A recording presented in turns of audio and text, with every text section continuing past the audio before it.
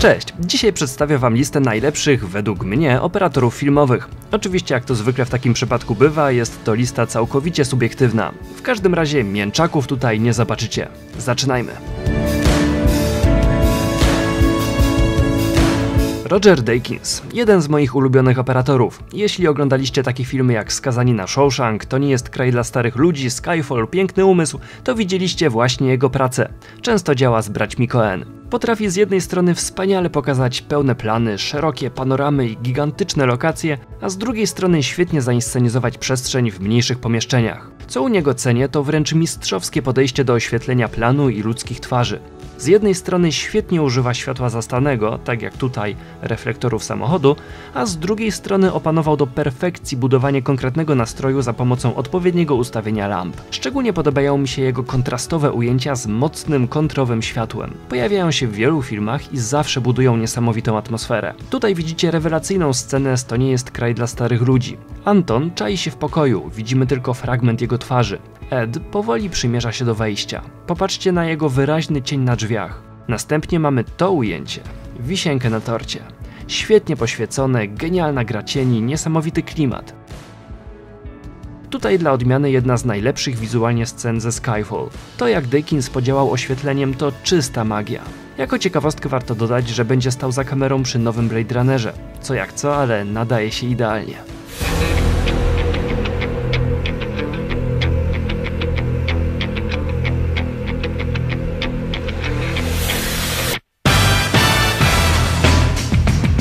Robert Richardson, główny operator Tarantino. Kill Bill, Django, Bękarty Wojny to wszystko jego sprawka.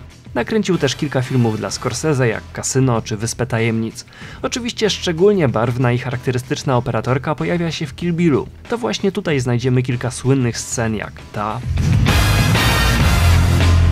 czy może to długie, świetnie zrealizowane ujęcie. Jednak ocenianie Richardsona tylko po odjechanych pomysłach z Kirbilla byłoby dla niego po prostu krzywdzące. Operator potrafi świetnie pokazać nawet zwykłe scenki. Genialnie został przedstawiony początek Bękartów Wojny.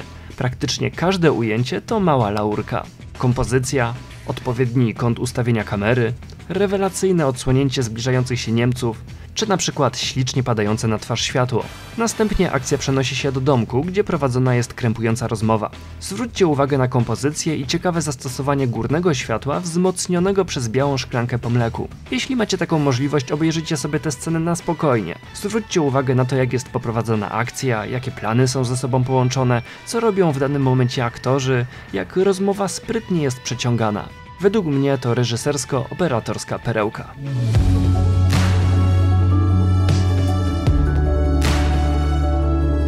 Janusz Kamiński.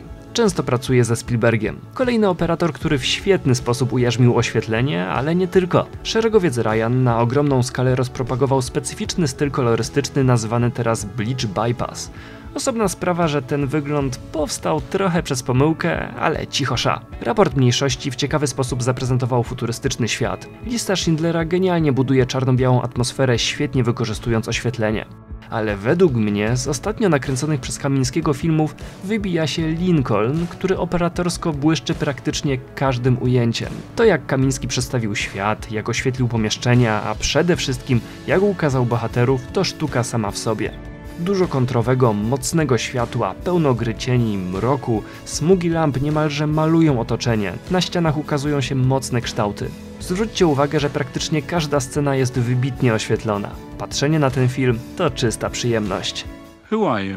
I'm Zero, sir. The new lobby boy. Gdy mamy przed oczami coś takiego, to myślimy o Andersonie i w zasadzie tylko o Andersonie. Tymczasem na te piękne, odrealnione światy wpływa nie tylko sam reżyser, ale też jego operator. Robert Joman to według mnie jeden z bardziej niedocenionych, a może raczej pomijanych operatorów. Zawsze mówimy o stylu Andersona, o świecie Andersona, zapominając o ogromie pracy człowieka stojącego za kamerą. O filmach Andersona przygotowałem zresztą osobny materiał, do którego w tym miejscu odsyłam. Obejrzyjcie tam szczegółową analizę jego filmów. Tutaj chciałem tylko zaznaczyć, że te cudownie symetryczne, ułożone, perfekcyjnie zaplanowane światy to również dzieło właśnie Roberta. Nie zapominajmy o tym.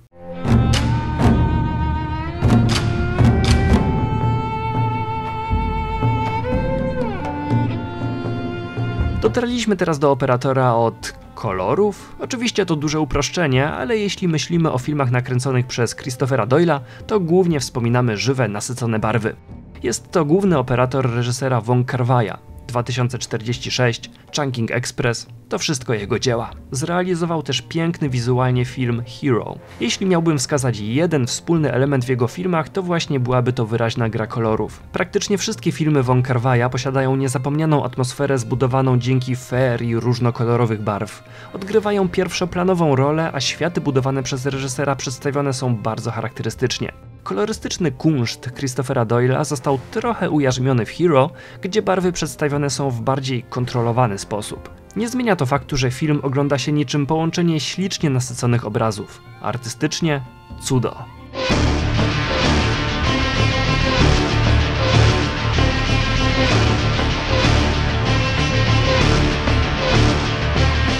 Wally Pfister. Nawet jeśli to nazwisko wam nic nie mówi, to i tak na pewno oglądaliście nakręcone przez niego filmy. Jest to operator Christophera Nolana, zatem ma na koncie takie dzieła jak Prestige, Memento, Incepcję czy całą serię o Mrocznym Rycerzu. Co ważne, tak jak wcześniej wymieniani przeze mnie operatorzy świetnie wykorzystywali lampy i budowali za ich pomocą niesamowity klimat, tak Wally rewelacyjnie wykorzystuje światło zastane. W swoich filmach stosuje tylko tyle lamp, ile jest absolutnie konieczne. Przez cały czas stara się naśladować surową rzeczywistość, co świetnie współgra z reżyserskimi wizjami Nolana. Genialnym przykładem jego umiejętności jest właśnie Mroczny Rycerz. Z jednej strony dość logiczne wydaje się zastosowanie mrocznego, kontrastowego światła w filmie o Batmanie. Tymczasem Wally podszedł do sprawy kompletnie inaczej i postanowił pokazać świat jasny, wręcz oświetlony bielą, surowy. Batman, mimo że jest osobą działającą w mroku, w filmie często kojarzony jest z jasnym, równomiernym światłem. Wally Pfister nie boi się pokazywać rzeczywistości takiej, jaka jest naprawdę, ale czyni to przy tym w mistrzowski sposób.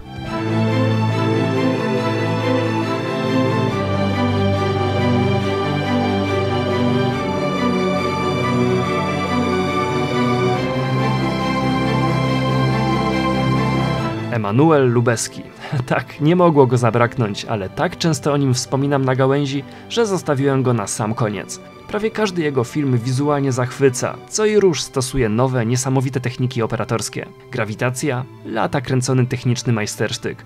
Birdman, próba nakręcenia całości jednym ujęciem. Ludzkie dzieci, kłania się słynna scena w samochodzie. Lubeski posiada niesamowitą zdolność do ciekawego prezentowania świata długimi, fantastycznymi ujęciami. Po Rogerze Deakinsie jest to zdecydowanie jeden z moich ulubionych operatorów. Wszystko, co wyjdzie spod jego ręki, to wizualna jazda bez trzymanki. Niebawem obejrzymy jego kolejne dzieło, The Revenant. Pierwszy film nakręcony nową kamerą Alexa 65, co wraz z odpowiednimi obiektywami daje niesamowicie szerokie pole widzenia. Można to zresztą zobaczyć już na pierwszym trailerze.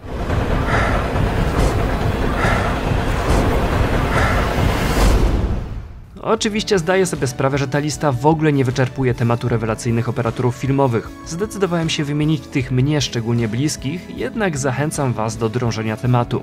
Jordan, który nakręcił pięknego Blade Runnera, Vittorio Storaro od przełomowego czasu apokalipsy, Gordon Willis od Ojca Chrzestnego, a cofając się do zupełnej klasyki mamy przecież Grega Tolanda i jego obywatela Keina. Można by tak wymieniać. Zwróćcie jednak uwagę na jeden element, który powracał w przypadku każdego operatora światło. To oczywiście tylko jedno z narzędzi kreowania świata przed obiektywem, ale za to jedno z najważniejszych. Operator tak naprawdę tworzy świat za pomocą światła, maluje nim, buduje klimat, atmosferę. Ta sama scena może mieć dziesiątki znaczeń w zależności od tego, jak zostanie oświetlona. To jednak temat na zupełnie osobny materiał. Dziękuję Wam bardzo za uwagę. Jeśli chcielibyście obejrzeć więcej analiz, recenzji i ciekawostek, zapraszam do subskrybowania kanału. Do zobaczenia.